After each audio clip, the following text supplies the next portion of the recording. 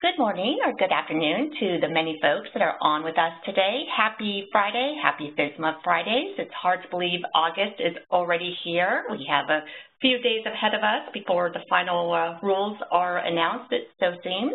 And uh, we're delighted to have our topic for August, uh, which is very appropriate given everything going on, of how to build a FSMA-ready food safety plan. My name is Jill Bender. I will be your host today with SafetyChain software. And just a few housekeeping tips, as always, before we begin this interactive session. The recording link, as always, will be sent out on Monday.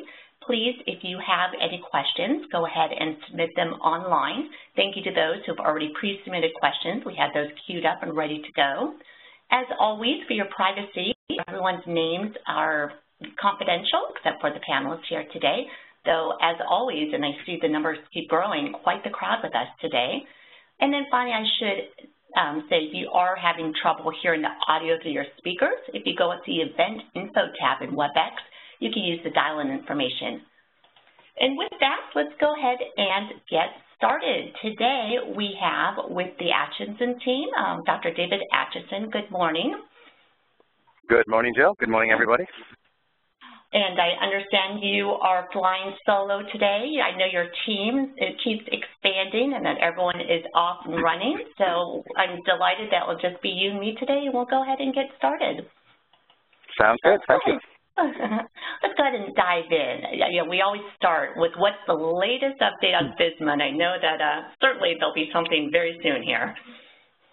No, exactly. Um, well, the latest update is we're still waiting, as you as you said. Um, just to remind everybody, due date for these um, proposed rules on preventive controls, and that we're talking here about for human foods and animal foods, is August 30th. So Saturday um, is what I'm expecting. But um, just just so some of the intel that I've that I've picked up is what I'm hearing is that um, I'm not hearing that there's been major major problems or major challenges. I, am personally anticipating that we might see something in the Federal Register over the weekend, um, and then these rules will be out for review on, I think, early next week is, is what I'm predicting.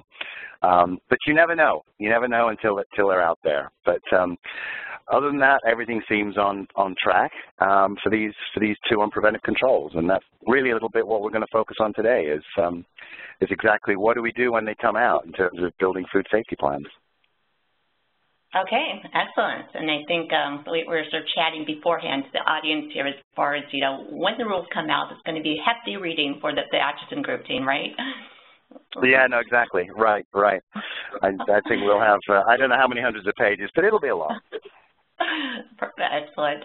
Well, let's go ahead and move to our first question that really does focus on, as you were talking about, and getting prepared. If you could just chat a little bit about what's the philosophy behind a FSMA food safety plan. Yeah, absolutely, Jill. I think this this is fundamental to if we go back to some of the conversations we've had around FSMA and the preventive control rules is what is it that the agency is trying to achieve with these rules? Um, and I've said this before, but I don't think it hurts repeating, is I, I, see this as they're expecting food companies who are registered with FDA, and let's just sort of remind everybody that that um, with a few exceptions, if you're juice, HACCP, seafood HACCP, or your low acid canned foods with regard to micro, at least that's what's in the proposed rules, and, and I don't see it changing a whole lot, then you are exempt from doing these food safety plans. But everybody else who is a registered firm will, will have to pay attention to this. Um, and it doesn't matter where you are on the globe. If you are manufacturing, uh, processing, packing, or holding food, it's going to enter interstate commerce in the United States, you'll have to have a food safety plan with those exceptions around milk and juice, etc. The philosophy here is to get us all to think about prevention. Uh, they want they want food companies to look at risks with regard to food safety in a more holistic way. And we'll get into this in a, in a minute, but um, my read of this is if FDA wanted to say everybody has to have a HACCP plan, they would have mandated HACCP across the board, and they haven't done that. What they've basically said is think about risks.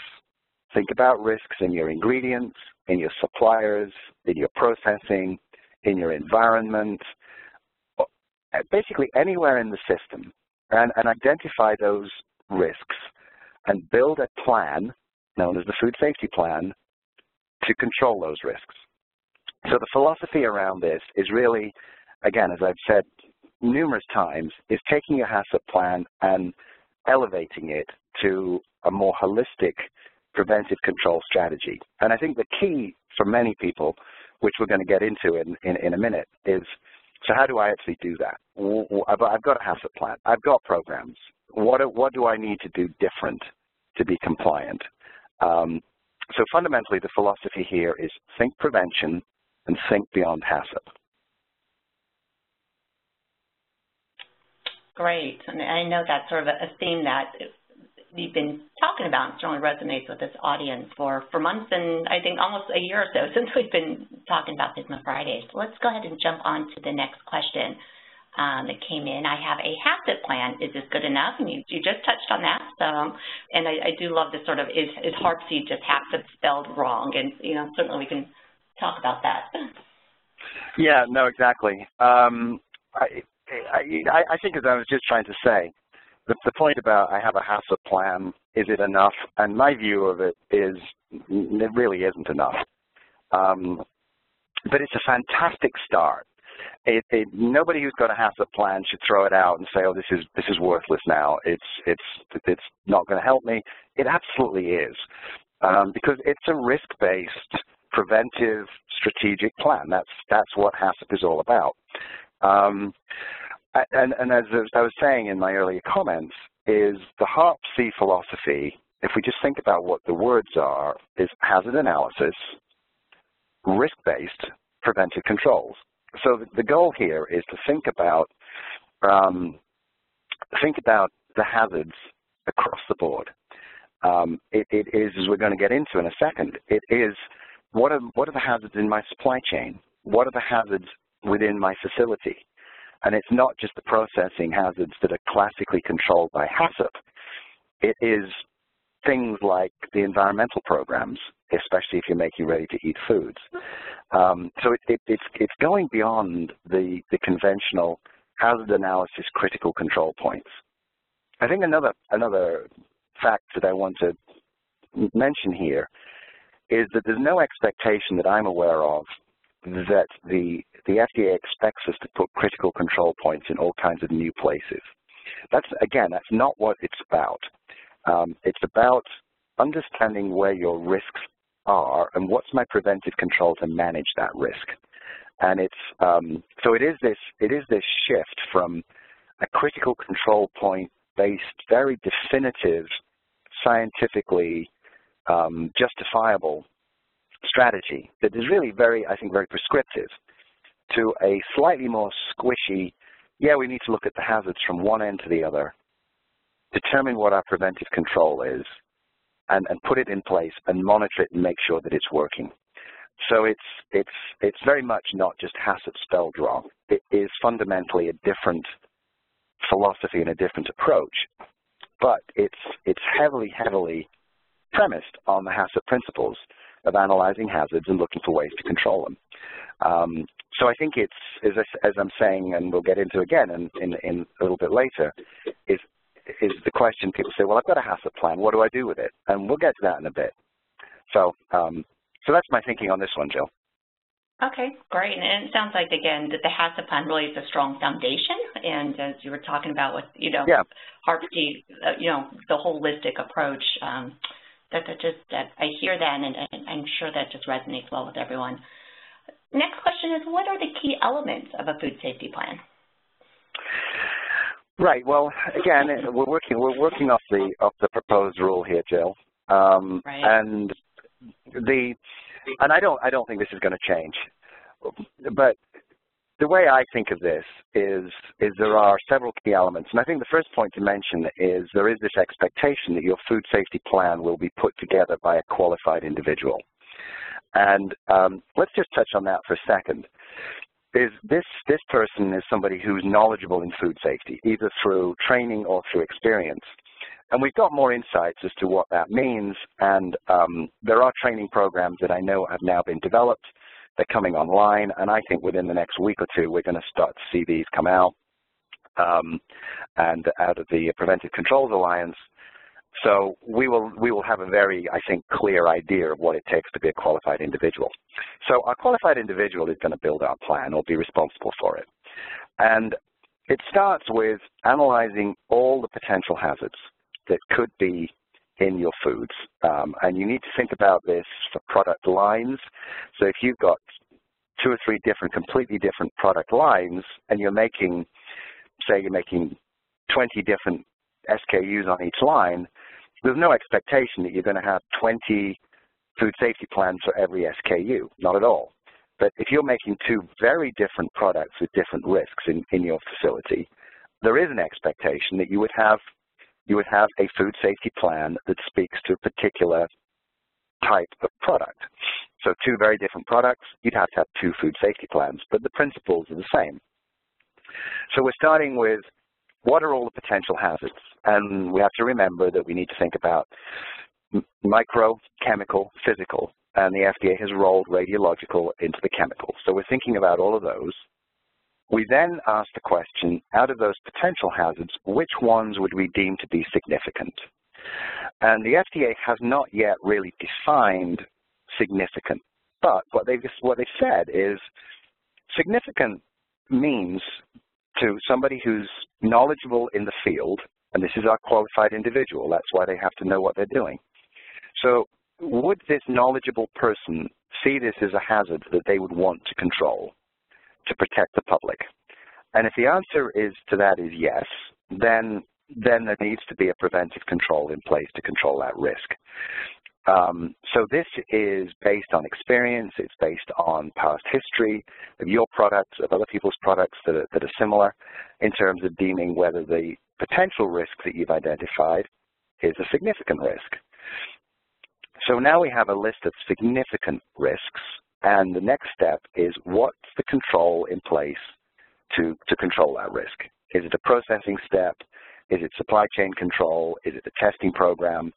The FDA doesn't mind how you do it, but you need to have a preventive control strategy to manage and control that significant risk. And you have to monitor on an ongoing basis that your control is working. So that might be through measuring a parameter in a process, a temperature or belt speed or something, um, very similar to critical control points. so your whole hazard plan is not wasted here. Um, or it may be monitoring something in the environment. It may be testing product. so that's the monitoring piece. The next part is the agency expects us to have corrected actions and to figure out what those are or what they may be before we need them. Put those in your food safety plan. We then have to have a verification process whereby our qualified individual is overseeing the plan, tracking it, making sure it's all working, um, and maintaining those records. Periodically, once every three years at a minimum, you need to reanalyze everything. Are we still where we should be? Um, any new significant risks? Any changes? And then if there's something like you've decided you're going to establish a new product line, um, before the three years is up, you'd need obviously to create a new food safety plan. So think about this as a um, essentially a, a, a story, if you like, or a narrative that you are going to create that speaks to how you've assessed the risks, how you've determined which is significant, how you're controlling those risks, how you're monitoring those, those controls, what your corrective actions are, um, and how you're verifying the system is, is ongoing so that when the, when the FDA shows up at your facility, they will have the authority, assuming these rules come out next week, this time next year, they will have the authority to, to come into your plant if you're a big producer and say, show me your food safety plan. And, and everybody needs to be ready with, with, okay, what are we going to do when we get asked that question? And a very big part of the food safety plan isn't just writing it and popping it on a shelf. It is about ongoing tracking of all of these preventive controls so the agency will get the sense that not only do you understand the HARP-C principles, that you're able to show an inspector, yeah, look, here's what we're, here's how we're managing it. Here's the, here's the challenges we've had. Here's some corrective actions that have popped up. Here's how we've managed them. Um, and, and it's all documented. So it's, it's a little, in, way, in many ways it's simple. It's telling a story of how we're managing these risks. And the, de the devil is in the details of, of how you actually put that together and, and fundamentally link it into the programs you've already got. So long, long answer, um, Jill, but it's, it is, it's probably the fundamental question here, and it's, it is complicated. Right, I, I, would think that we could just do a two-hour session just, just on this piece, but I really liked how you, you outlined that. And as a follow-up, I think it would, it, um, on our side, we'll just sort of put these maybe in a blog or something, sort of the top 10 items that you just mentioned um, and re reference back to this recording. That was a really helpful answer there. Let me go ahead and jump into the next question here and talking more specifically about um, environmental monitoring and supply chain risk control and how that fits into the food safety plan. And again, I know you, you sort of touched on that already. Yeah, no, absolutely. Um, for, for, those for those who've been regular attenders for FSMA Friday, you, you know we've talked about environmental monitoring and supply chain risk control many times. Um, and just to remind everybody, the um, the FDA was given the authority um, in the statute in 2011 to, to require environmental monitoring programs and to require supply chain controls. And the first round of the proposed rules did not have that in there, um, I think for economic reasons, but, but the reproposals did. And, and I have every reason to believe that they will be in the final rules. So we, we, we should assume that we'll have something on environmental monitoring basically what this is saying, just to remind everybody, is that if you are manufacturing a ready-to-eat food um, that, that's part of the food safety plan um, requirements, and there I'm saying it's not juice and it's not it's not um, seafood. So any other, anything other than that, you're manufacturing a ready-to-eat food that is exposed to the environment after it's been processed and before it's been packaged then there is an expectation that unless that food has a subsequent kill step once it's in the package, that you have an environmental monitoring program. This, that in a nutshell is what, is what needs to be part of your environmental monitoring program of your food safety plan. We, could, we, we can and we have and we will do whole webinars on so how do we do this? What does a good environmental monitoring program look like? So there'll be more to come on that. On the supply chain part, the FDA is saying, think about the hazards in your suppliers. And there is an expectation that you, you kind of go through the same thought process with your, your suppliers and your ingredients as I've just outlined for your food safety plan. Look at all your suppliers and ingredients and ask yourself, do any of those pose a significant hazard? And if the answer is yes, they do, then you've got to have something documented as how that hazard is being controlled. You may be controlling it yourself because you're receiving an ingredient that could have salmonella in it, but you're cooking that ingredient. So you're controlling that hazard. You may be using that ingredient um, in a finished product and you're not cooking it. So the supplier is controlling the hazard. That needs to be documented into your food safety plan supplier control part. So our food safety plan is speaking to a lot about what are we doing internally with our processes, and our environmental monitoring program and our supply chain uh, risk control program. And again, we'll have a lot more to say about that once the final rules come out.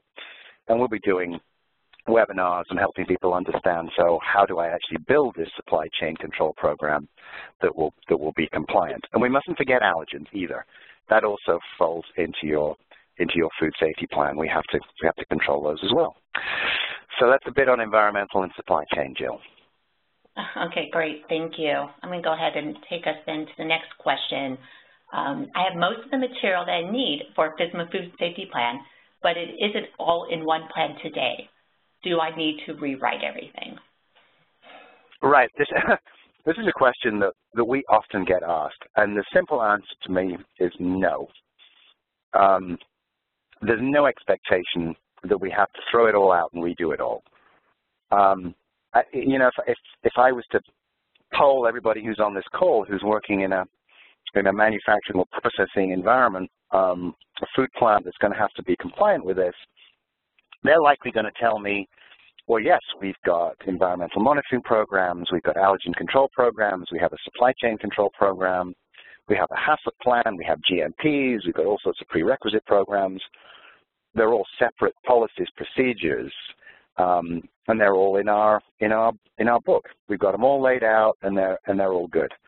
Um, the, the the key part to that is so what what what do I do with with that um, with with all these documents?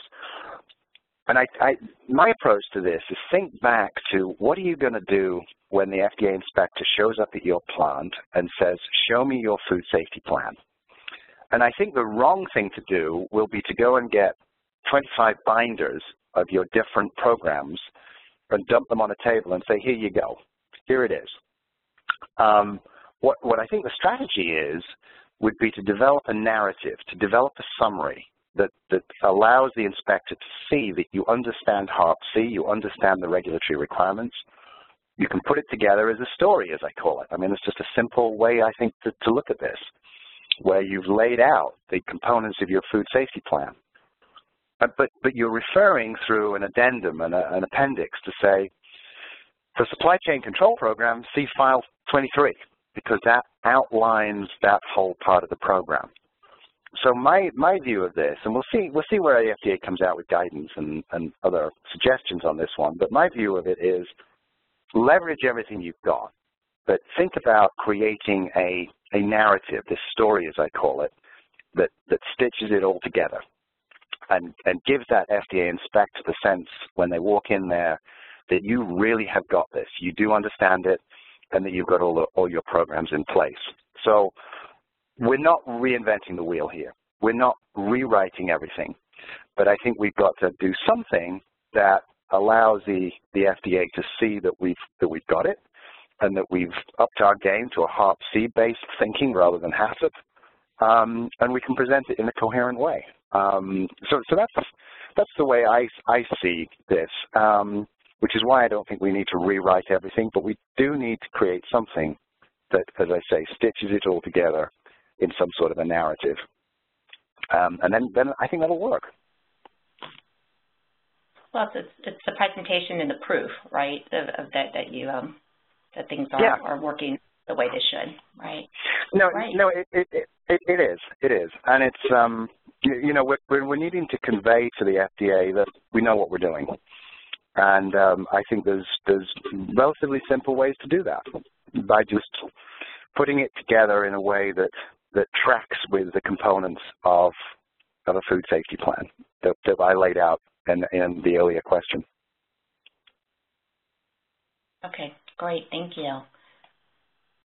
I think this might be the last pre-submitted one, and then we'll go ahead and, and, take some of the questions that have been coming in. Let me confirm that. Um, will, what will FDA expect in terms of documentation? Um, what records should I keep? What will FDA be able to see on routine inspections was the question.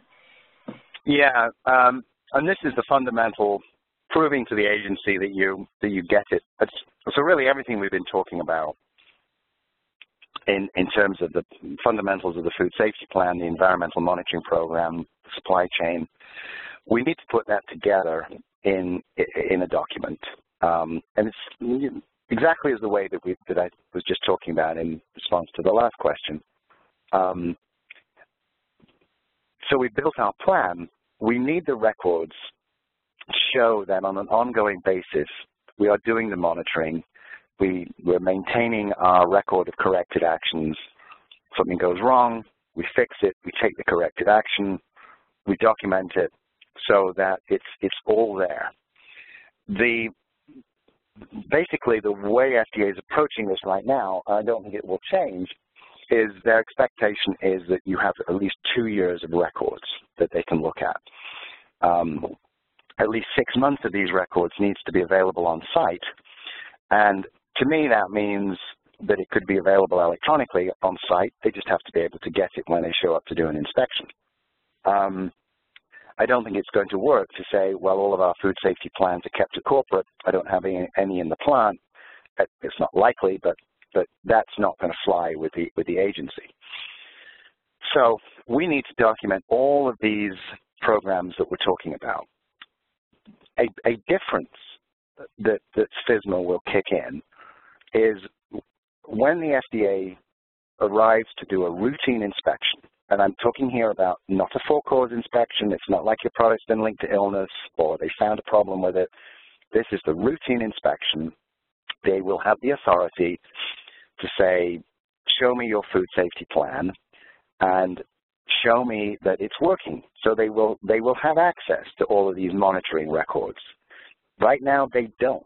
They don't have access to that unless it's unless there's a reason. There has to be a cause, um, a reasonable probability of a serious adverse health event is what triggers their their ability to look at your testing records and other processing records. Um, now, a lot, uh, that question is often asked of food companies, show me your testing records, and many companies will just show them to FDA because they've got nothing to hide. Other companies like, no, we, we don't want you to see what we're doing. Um, that will change with FSMA because if you're testing to show that something you're doing, it's, it's a testing program for as part of your food safety plan, like your environmental monitoring program, I believe the FDA is going to be able to see those records on a routine inspection, and that will be a difference. I think time will will make make this clearer in terms of exactly what they're what they're asking for. Um, I wouldn't be surprised if we see some legal challenges on some of this, but um, based on the statute and based on the proposed rules, that's the way it's shaping out right now. Um, and we'll see what the if the final rules change that, but I, I don't think they will, because FDA really does want to come in and say, do you get it? Do you have the programs in place? And, and are you executing on those programs? Um, and then one final thought on that, Jill, is that um, I'm anticipating, and I've heard a number of people share the same thought, that the FDA inspectors will have done their homework before they show up to your plant. So mm -hmm. I think we're going to see uh, I think we're going to see FDA inspectors coming into a plant that makes a given type of product, and they're going to be more informed about the general risks that they need to look for. So they may start to ask some pretty targeted questions um, around risk control for a specific product. So I, I think we're going to it's not going to be overnight by any means. This is this is going to be a five to ten year journey, um, and we're all going to learn on the way. But um, right now, you will have to have those records, and FDA will be able to look at them as part of a routine inspection. -hmm. Okay, wow. That's interesting is when the, the, difference with the routine inspections. I, I know you touched on that before, absolutely. Yeah. Okay.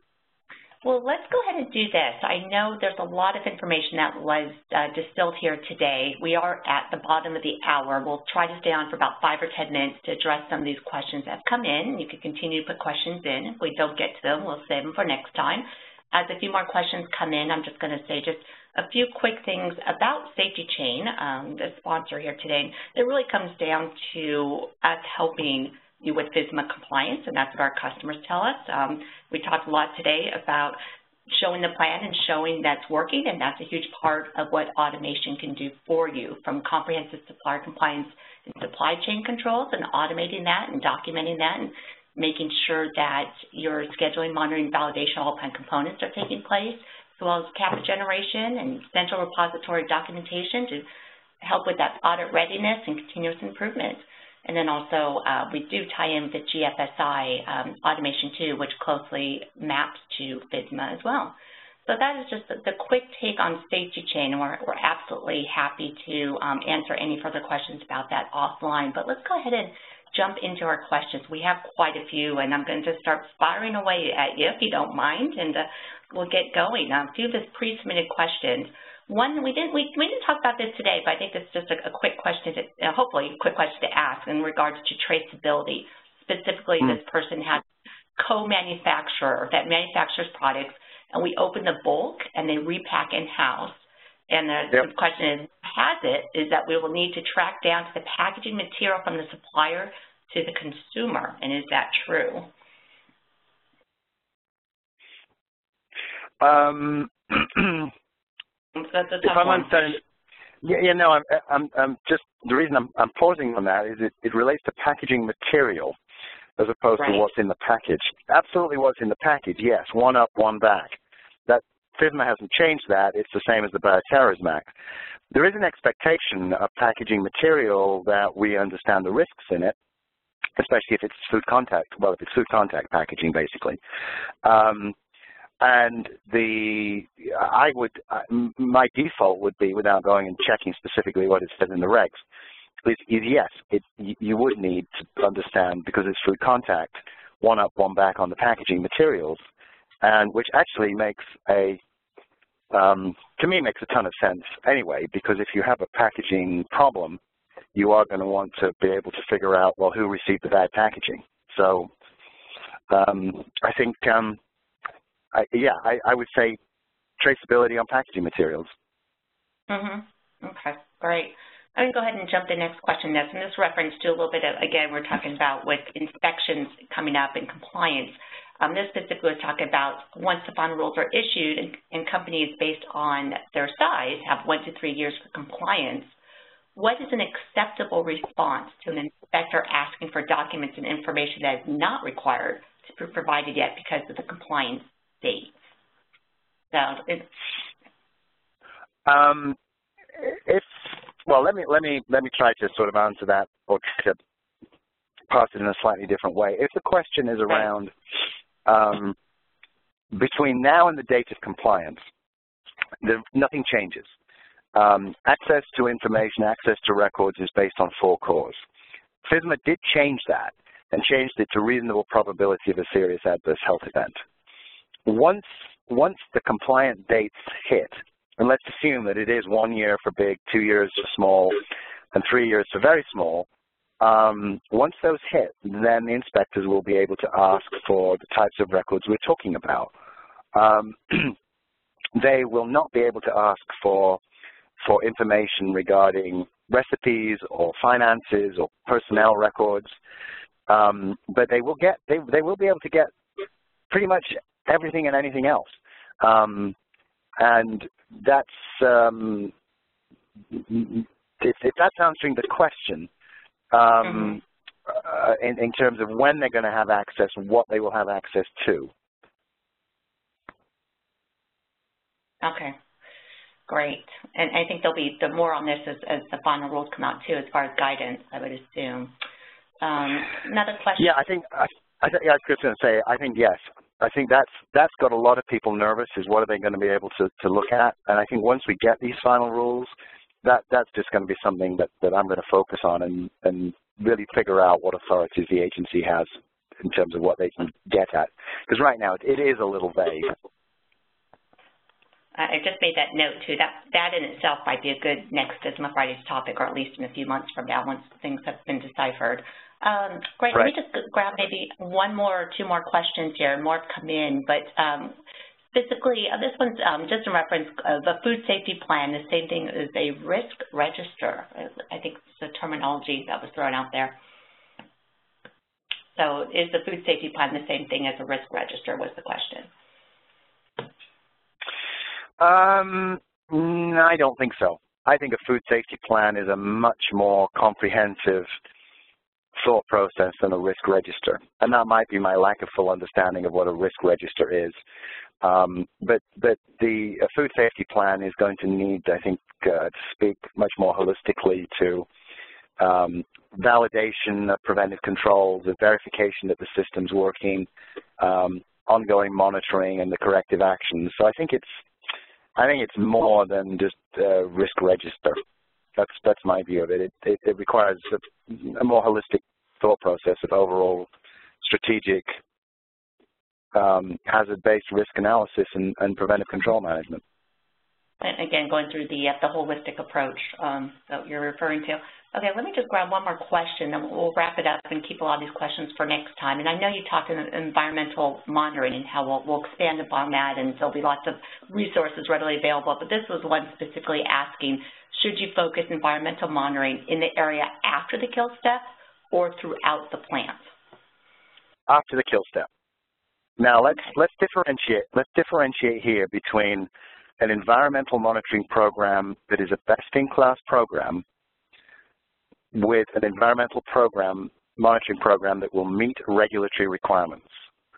And um, it's a fundamental philosophy of mine is that I see regulatory compliance as a baseline. it rarely is, is regulatory compliance built off um, ultimate best in class. It's usually good, um, but there's always options to, to go better or, or best in class.